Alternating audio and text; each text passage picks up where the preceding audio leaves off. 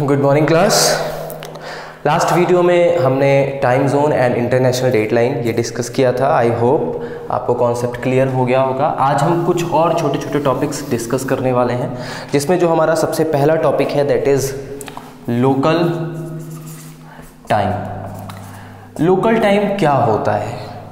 ये हमें कैसे पता लगा? देखिए, अगर इन जनरल बात करें तो हम कहते हैं कि भाई इंडिया का जो प्राइम सेंट्रल मेरिडियन है, उसके हिसाब से हम टाइम पूरे इंडिया में मानते हैं। मान लीजिए कि दिल्ली में 12 बजा है तो हमारे लिए अरुणाचल प्रदेश में भी 12 बजा होगा और इधर गुजरात में भी 12 बजा होगा। ठीक है?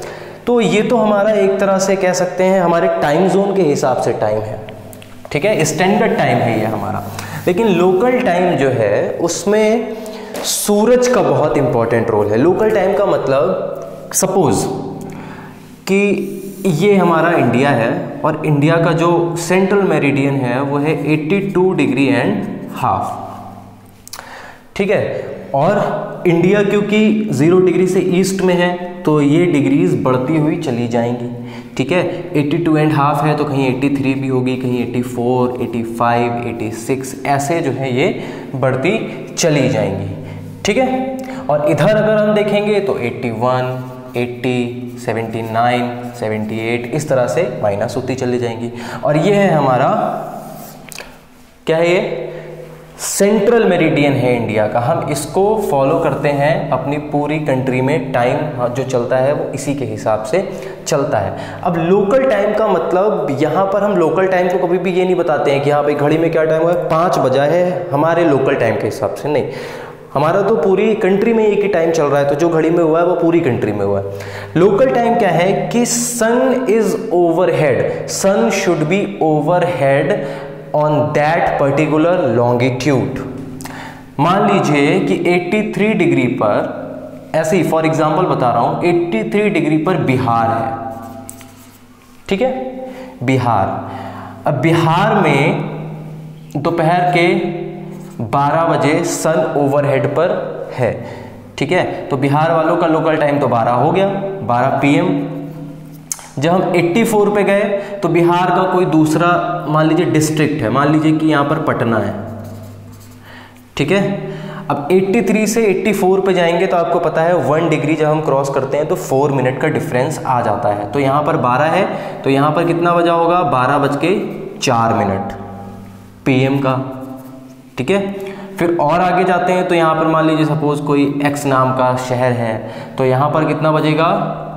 बारह बज के आठ मिनट, ठीक है? यहाँ पर वाई नाम का कोई शहर है, यहाँ पे कितना बजेगा? बारह बज के बारह मिनट। ऐसे जैसे जैसे डिग्रीज बढ़ती चली जाएँगी, हमारा लोकल टाइम भी बढ़ता चला जाएगा, और लोकल टाइम में डिफरेंस होगा हमेशा कितना?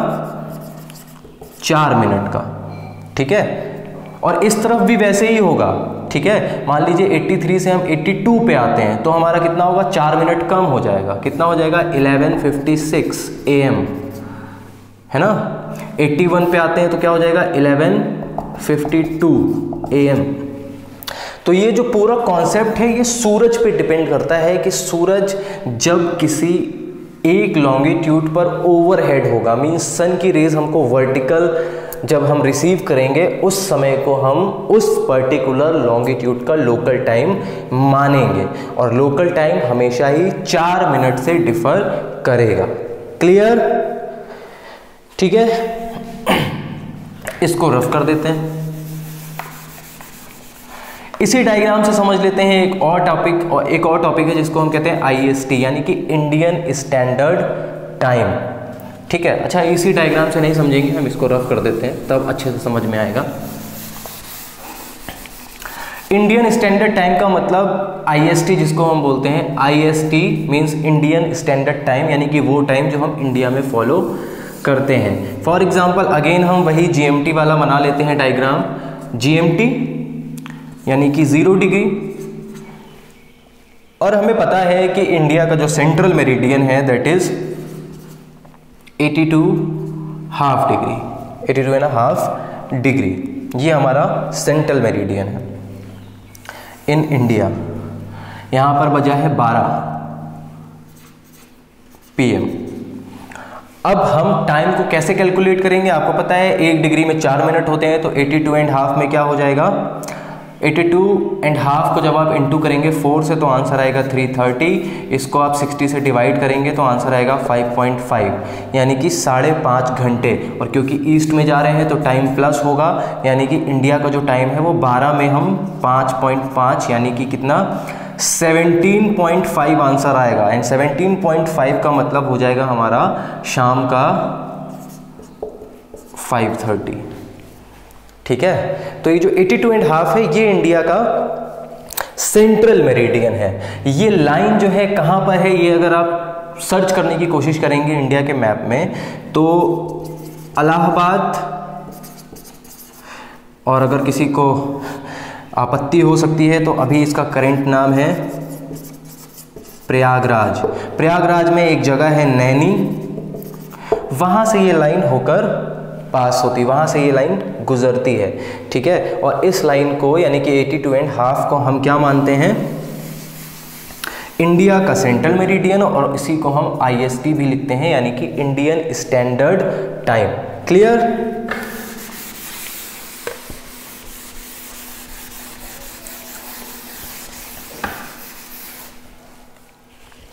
next topic हमारा आएगा great circle and small circle great circle and small circle great circle and small circle great circle क्या होते हैं? ये आप डेफिनेशन जान लीजिए कि कोई भी लाइन कोई भी इमेजिनरी लाइन जो कि अर्थ को अर्थ को इक्वल पार्ट में डिवाइड करती है, उसको हम ग्रेट सर्कल कहते हैं।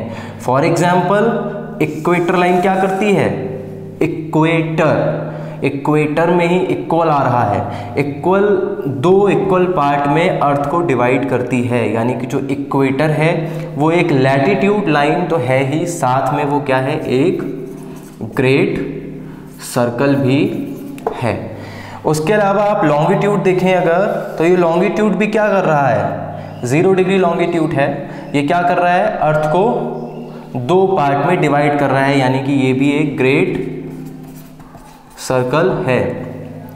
लेकिन लॉन्गिट्यूड के साथ क्या है कि जितने भी लॉन्गिट्यूड होते हैं, वो सभी के सभी अर्थ को दो इक्वल पार्ट में डिवाइड करते हैं।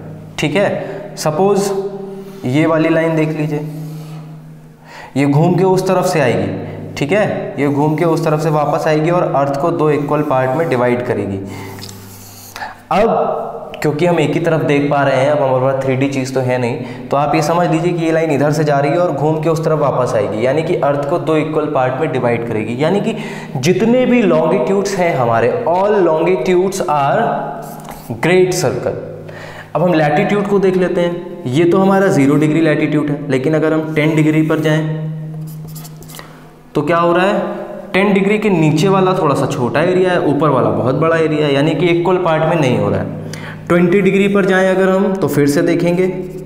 ट्वेंटी डिग्री पे नीचे वाला बहुत छोटा हो गया, ऊपर वाला बहुत ज़्यादा है। ऐसे ही ऊपर भी जब हम इक्वेटर के ऊपर या नीचे कहीं पर भी लॉन्गिट्यूड बनाएँगे तो देखेंगे, इक्वेटर को छोड़कर except equator no latitude is dividing earth into two equal parts ठीक है? तो यानी कि इक्वेटर को छोड़कर किसी भी तरह का लैटिट्यूड चाहे वो वन डिग्री हो या 90 डिग्री वो ग्रेट सर्कल नहीं है। तो जितने भी लैटिट्यूड्स ग्रेट सर्कल नहीं है, वो क्या है? वो स्मॉल सर्कल ठीक है? तो एक बार फिर से रिपीट कर लेते हैं।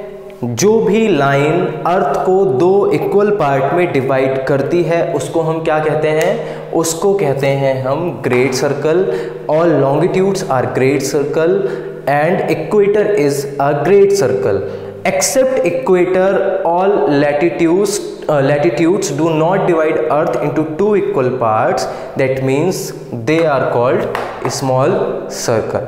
Clear? तो ये दो टॉपिक आज के वीडियो में पढ़ाने थे। तो इस वीडियो के लिए इतना ही। अगले वीडियो में हम अगला चैप्टर स्टार्ट करेंगे और आपका जो लैटिट्यूड लॉन्गिट्यूड्स का चैप्टर था वो इस वीडियो में ख़त्म होता है। सारे के सारे टॉपिक क्लियर ठीक है? Thank you so much